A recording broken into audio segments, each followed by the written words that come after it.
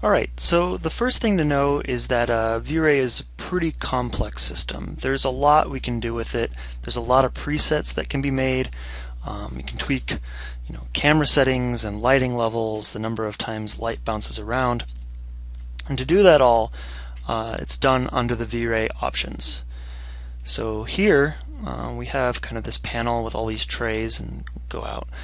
And this is uh, a lot of stuff that I personally don't even mess with. There's there's no reason for me to come in uh, and and go over each and every one of these because I think it's a very very small percentage of people who who actually utilize kind of the the most efficient means of rendering this stuff out.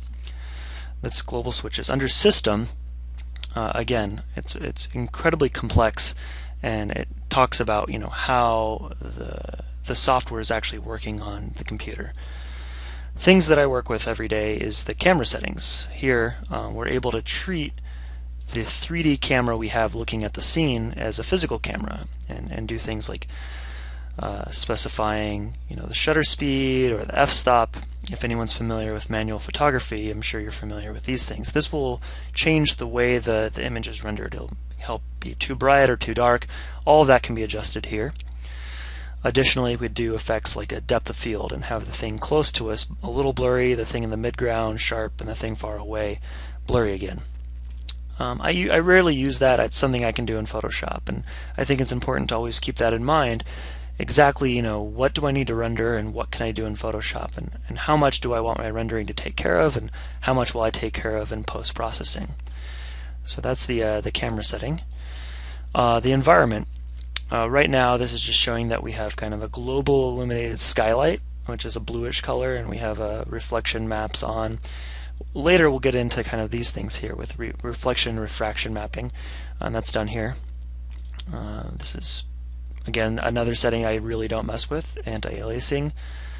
Um, settings that are controlling noise level in the image, color mapping, again, not needed. Sometimes I'll come in here and use the VFB channels. This is a way to control specific instances of, of data uh, that will add layers. So while we'll get like an image out of it, we could also get additional layers. And the Z depth is how far back in space the, the material is rendered out. So with something like that, we can use uh, to help go into Photoshop and blur different aspects based on their depth. But again, we'll get to those a little later in the tutorial output. This one's really important and very easy. This is the size of the rendering. You know, right now if I did a rendering, and I can do one, um, it's incredibly bright and dark for the actual image. Uh, it's not, you know, doing that much for me. Um, but it's also very, very small. And so while this is great just to do a quick test, it would never be what I want, you know, as I move into production. Another important thing that always trips people up, and myself included, is to make sure that I'm always rendering the same aspect ratio of what I see on my screen. If I say get aspect ratio, like right now we're looking at 1.33. If I get aspect ratio, it's 1.94 now. This is my screen's a widescreen display, so this uh, resolution changes. I can lock that aspect ratio here and increase the size of the rendering. Coming down, I can set up output files. Here we actually have the way the, the scene is illuminated, so this is indirect illumination. Uh, and these are the types of illumination it's using to figure that out. Uh, we're using irradiance map and uh, brute force. We could change these. Um, I usually don't come in manually and, and make all these changes, uh, and I'll show you in a second how you can load presets. Uh, once you set those up, you can come in here and this is how many times the light bounces, what's the sample level, how many lights are they sending out, uh, so on and so forth. Really detailed stuff. Caustics, uh, this is something that I'll get into hopefully a little later. It's going to be the way glass and kind of reflective items uh, manipulate the scene and manipulate the light. Uh, if you can imagine having a, some, a glass of water held up to light, uh, the light would bend through it and, and respond in a different way. So this is a one aspect that would help bring some realism to the scene. Uh, and then as we move down, we have some displacement and the real-time engine, which we're not going to get into. But one of the most simple basic things we can do is just click the open uh, or go file open in Rhino 4 and we have a series of presets here. And uh, The ones I usually end up using is this GI IR map medium. Uh, so it's a global illumination and then irradiance map. And it's just the medium setting. So if I open that, it sets up some presets for me. And the one thing I worry about is that uh, I want to override the viewport again because you can see it's not even to the aspect ratio I had set before. So I set that, lock it back.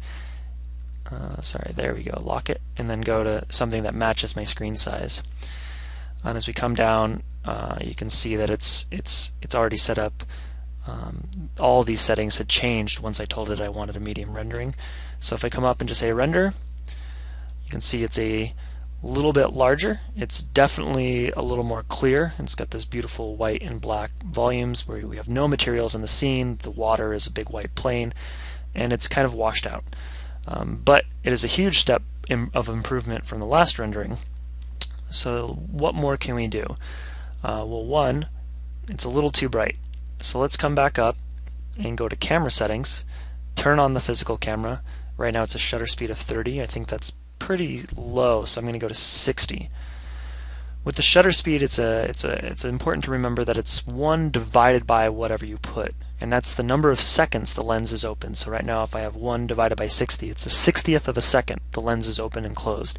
So you know some light would get in. If I said 500, it's one over 500, so one five hundredth of a second less light would get in. The image would be darker. So let's try 60. I'm also going to come up and here I'm going to add a V-Ray infinite plane. And by doing that now my model is sitting on a base and I'll be able to get shadows off of it. So let's set up another view, render again. Here you can see the image is obviously darker. Uh, we have what's called vignetting around the edges here. You can see it's darker and then lighter in the middle.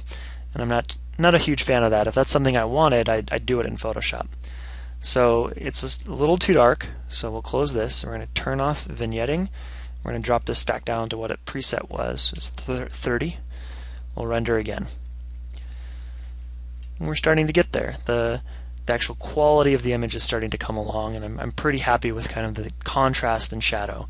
Uh, in the next tutorial, we're going to look at adding a sunlight system, which will help bring some realism to the scene.